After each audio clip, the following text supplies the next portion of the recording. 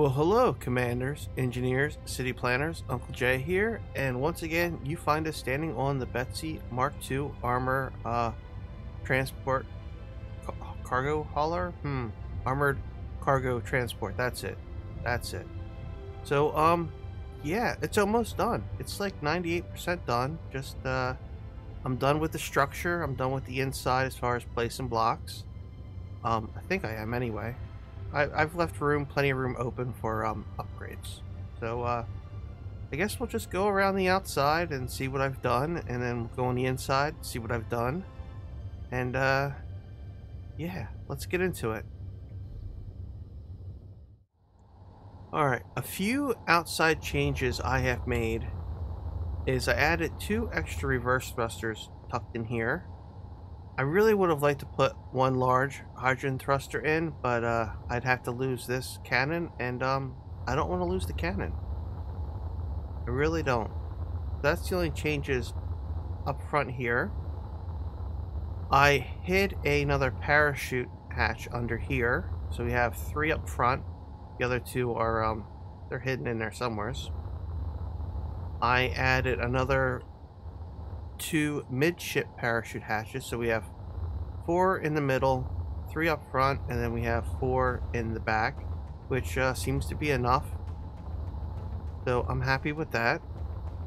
As far as that's concerned, nothing up here has changed other than I added in a beacon, which um, show, says the uh, armored cargo transport is labeled. And that's separate from the name of the ship that's on the antenna. Then I just added these little uh, decoration pieces to uh, give it a little protection. Um, as far as what else on the outside, I made sure all my card container containers were labeled with the proper ammo and stuff. I had to redo that. But so far, all of everything else outside on this part did not change at all. Now under here, turn my lights on. We have a whole lot of changes. Besides these more thrusters I added in, I also added in a lot more small thrusters, which meant we had to lose some of our landing gears, which um, I'm okay with. I think there was probably a little bit too many anyway. Now the Fit 4 up front from the two, I had to lose two of the uh, hydrogen tanks, unfortunately, but um, I added them back in, but to add them back in, I had to lose two of the large cargo containers, which I'm okay with because it was causing um, problems with not being able to lift at 50% in 1G. So 50% is now going to be three large cargo containers instead of four. And with extra thrusters, I think it should solve our uh, our lifting issues in 1G. Now, the problem with this ship is it's armored. So it's it's half heavy, half light armor. It's meant to protect the cargo, not just move it. So we have a lot of overhead and ship weight, which reduces our cargo capacity. But that's what I was kind of planning and aiming for, so yeah, now, I might change this for a piston. I, I haven't decided yet. Maybe. So, let's head inside. Our first airlock.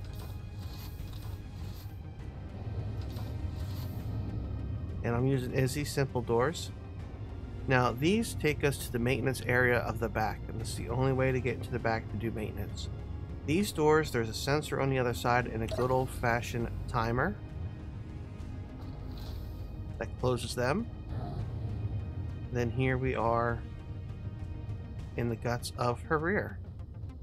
Kind of walk around, you can weld stuff up. And, hmm, color difference there. Hmm, okay, might have to address that. If we come in here, I squeezed in two more jump drives, so we have eight jump drives now. As you can see, we have plenty of room for um, extra bits and bobs to uh, want to add stuff in, come in, do repairs. Now, I did have to drop two large hydrogen tanks back here that were for ship power. So I may um, add in a bunch of small hydrogen tanks we got the room for it, so I might do that to kind of make up the uh, the difference. And we have a full-size assembler and uh, basic refinery, so there's two on each side. I thought adding some production for uh, emergency repairs and whatnot is uh, necessary. And then this over here is um, all the same. Just drop back down, head inside. Now originally I had hatches here, but I couldn't get in the door. Couldn't walk in the door. We have some refineries. Let's turn our lights off. We have another set of double doors here. So it's like a double, this would be a bulkhead right here. So there's an airlock at the bulkhead. Jump drives are exposed on the inside, but they're uh, they got some safety grating on them. Or assembler access. I thought that this was important that you could physically access the assembler. And here we are in the um, the main living area, I guess I would say. We have full medical. We have our kitchen table. We have our recliners with our TV. It's on channel 5 right now. Um, nothing on those yet. I think one will probably be a clock and um, I don't know yet. We have a jukebox. We have Mr. Coffee, which has Isy's door on it. And then we have Mr. Radar, which has LCD2 on it, which I haven't set up yet. Because I always like to drink coffee while reading, watching Mr. Radar. We have our Shield uh, Gen uh, controller right here. We have our projector on and off, which I haven't set up yet because blueprint's not finalized.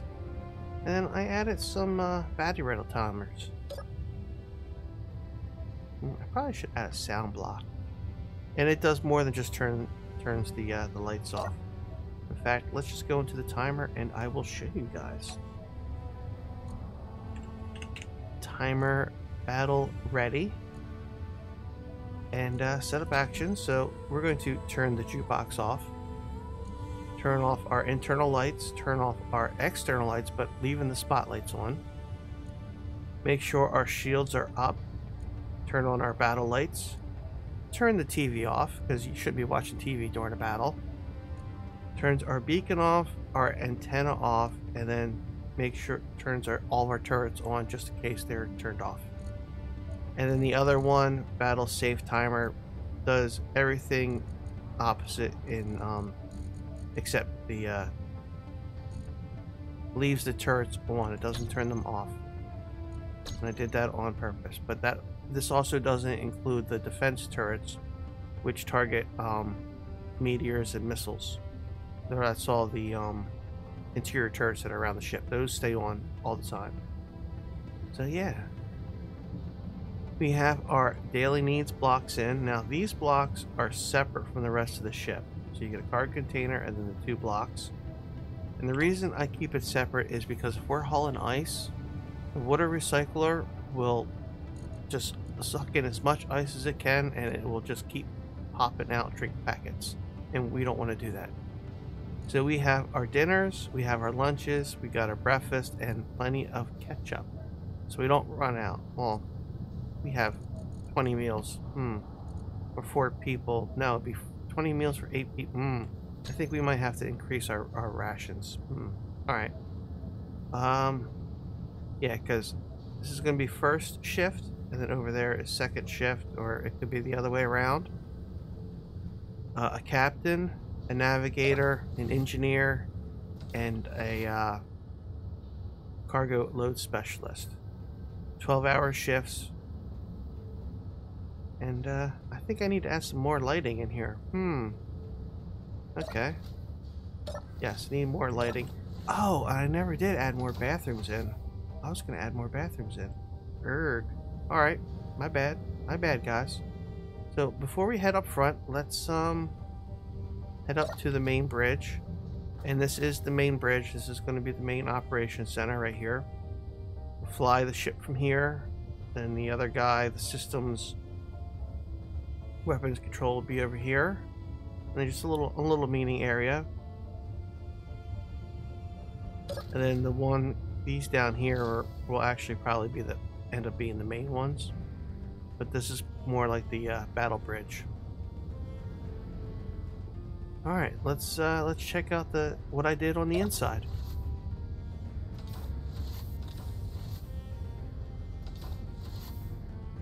We have some shelving, number uh, one, two, and three on both sides. We have plenty of connectivity in here. Um, I think when I did that last test, there was probably close to 99 gyros. I think we're down to like 78 right now, I think. Less gyros. And you see we have these walkways here. So we can get in and we can repair these gyros if we need to. And we can also come in here and uh, repair thrusters if we need to. So plenty of uh, accessibility. And here is another bulkhead to separate our cargo from our hydrogen tanks in case of a uh, explosion. So these are um, these are all cargo, uh, armored cargo, and these are heavy armor. Probably should turn my lights on. But yeah, one, two, three, one, two, three. So six and six. Now we could come up here, or we could also walk down there. We have a oxygen tank. I think I have a couple oxygen tanks on board now. I'm not sure how many actually. We should probably check that out. We have five. Okay. Some more reactors. Last uh, last test seemed to be a little light on reactors, so I'm kind of hoping I have enough now.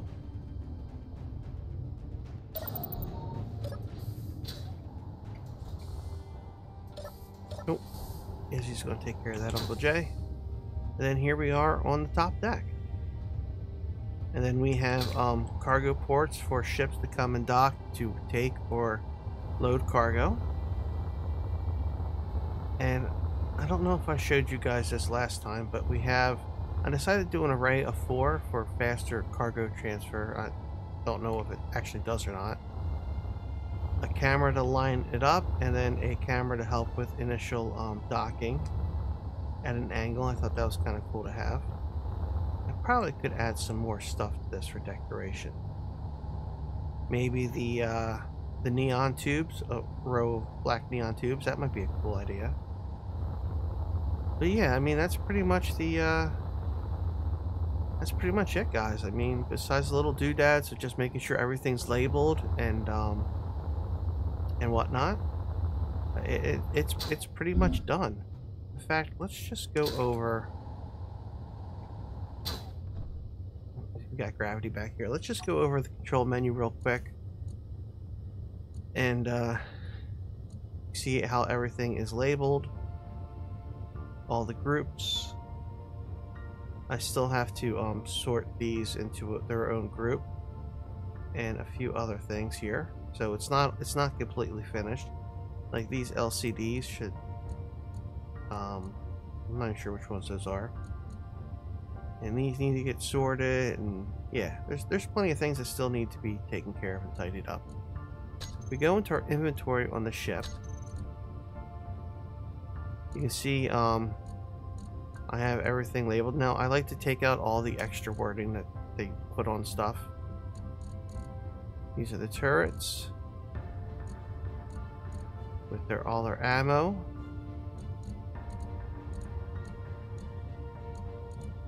Uh, cargo container, ammo, Gatling. Hmm. Usually I have the positions of these labeled. This might be the top one. Airlock, cargo crew left, cargo crew right. Uh, control seats I need to take out of inventory. Our defense turrets, they're labeled where they're at. So everything has its, uh, place. Hmm, okay. They need some ammo. Do I have any ammo? Hmm. Alright, so we need to finish um, taking care of stuff like that. Hydrogen tanks, I'm not sure yet. Maybe these ones I'll probably take out of inventory. Then I'll add uh, two small ones in for bottles. I think that's a, I think that's a good idea. This one is the turret at the back of the door. And then we have a turret that is missing ammo. Hmm. And these are the trade ones. I need to take this stuff out and get it where it needs to be. But yeah. And then I have all the O2 H2 generators full of ice. And all the parachute hatches full. And all of the reactors full, 20 each. So what I did was all the um, cargo containers for ammo, I'm going with 50 each. Reactors 20, and um, maxing out the uh, O2H2 generator. So this blueprint will come with, um, it won't be empty, it won't be dry weight. It will be functional. So I guess the only thing left to do is really to, uh, to test it. Go back down to the 1G and see how it handles empty. See how it handles it at 50%. Hopefully I have time to do that on this holiday weekend because I didn't think I was going to have time to record today. Alright, let's get into it. We are here in a high altitude orbit, I guess, hmm, of the Earthlike above our ice lake with our divots in the ice from our last tests. Now, I'm not going to do a parachute test, but I would like to do some uh, maneuvering tests. So let's do a uh, side test real quick. So we are definitely very slow on our side thrust, even though our whole side is thrusters.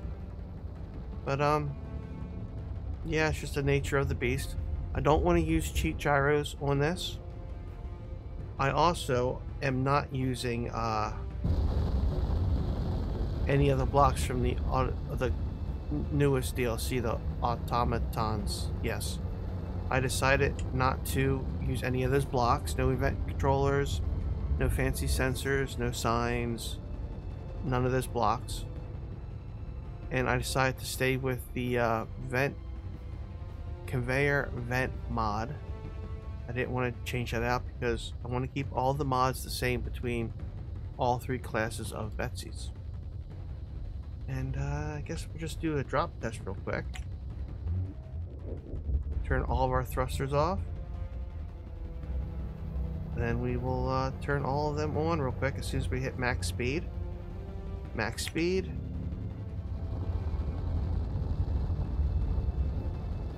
I think that's a pretty good recovery speed empty. As you can see, we are uh, we are pretty much empty here. Just uh, mostly our dry mass. I took everything else out of uh, inventory that wasn't needed. And parachutes are uh, apparently still on auto deploy. Hmm. Okay, let's uh screw it. We'll just let the parachutes do their job and we'll just uh see you on the ground. Alright, we are locked on the ground. We are empty, so let's do a quick unlock. And let's just thrust up real quick. Some really good speed empty. So the only thing left now is to fill half our uh, cargo containers. So let's come back down. Nice and gentle.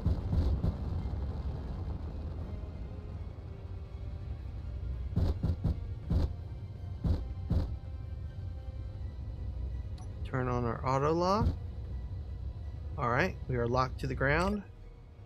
Let's head down to our cargo containers.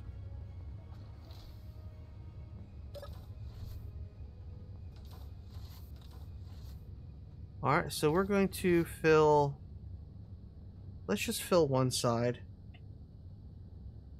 And let's go with, um... Let's just go with ice. Or, um... I for ice. Here we go. 999. 1, 2, 3, 4, 5, 6. Uh, we're just going to click it a whole bunch. I never did figure out how many clicks it takes to get to the center of a cargo container. Let's ask Mr. Al.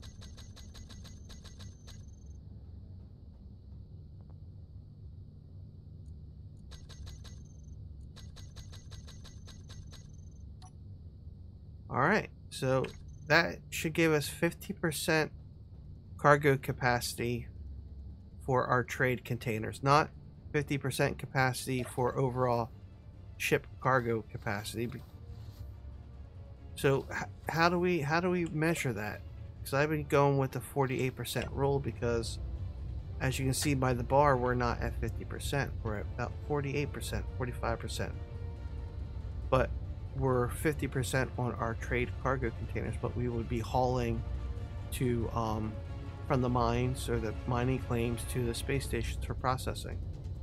So we have to kind of keep in mind those uh, those metrics or measurement. So, all right, here we go, guys. A lot better, a lot better than last time. Definitely a lot better. Now I know what you're thinking, Uncle Jay. It's only 50% cargo on 1G, and you're right, it is.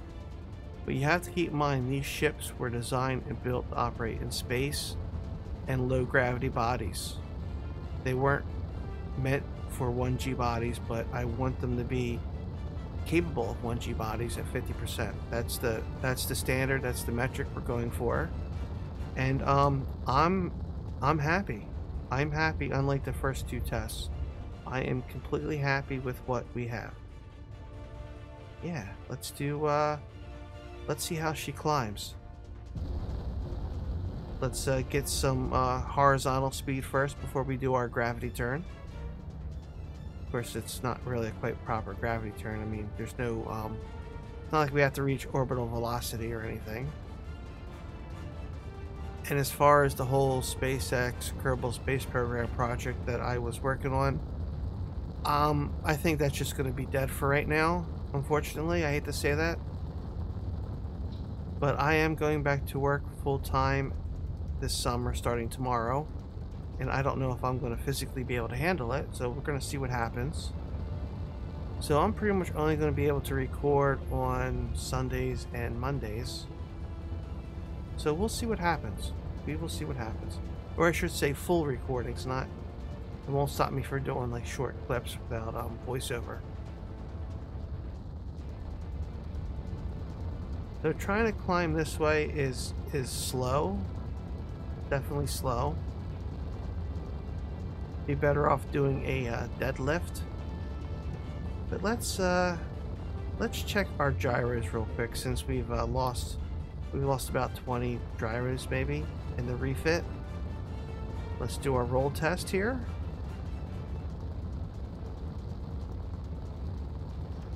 Now we are going to lose a whole bunch of altitude doing this. It's just the nature of the beast.